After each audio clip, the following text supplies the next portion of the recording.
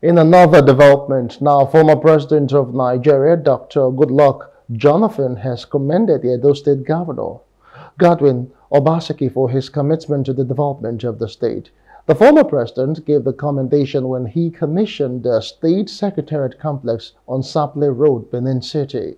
Jonathan noted that the buildings are some of the best in Nigeria and commended the governor for his vision to complete the dream of late Dr. Samuel Ogbemudia the then governor of Bendel State, who started the construction works, also commended the governor was the former deputy governor of the state and chief of staff to the former president Goodluck Jonathan Mike Oghiadomhe, as he encouraged other governors to emulate Obaseki in investing in the public and civil service and recruiting first-class graduates into the service through automatic employment.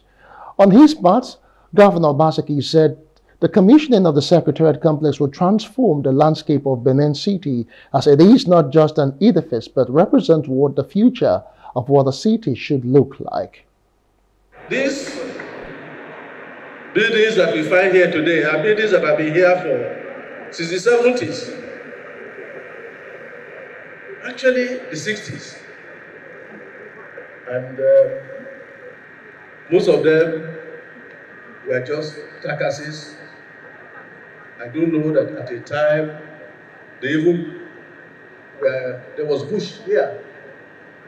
And we, we even had um, some lunatics taking refuge in them.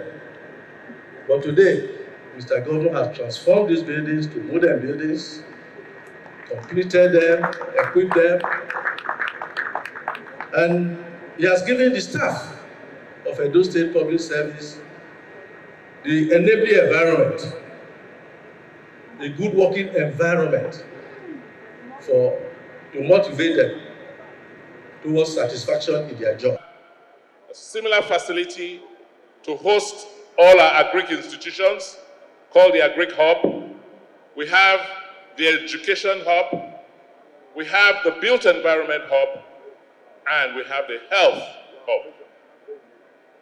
This is to enable our public servants provide more efficient services to our people.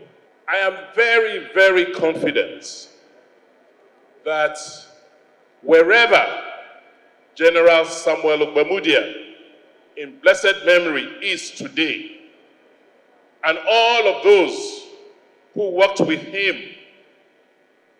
during and after the Civil War to build Edo State, wherever they are today, they will be proud that their dreams of building a secretariat complex like this has been realized today.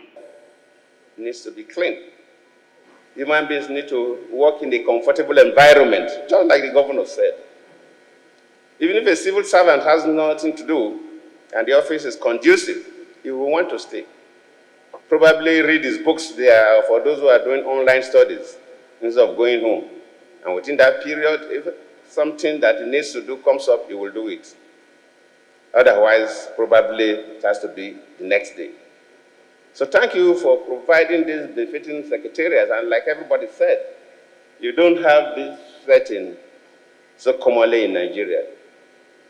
This is one of the best. And suddenly somebody who has vision. Hello. Hope you enjoyed the news. Please do subscribe to our YouTube channel and don't forget to hit the notification button so you get notified about fresh news updates.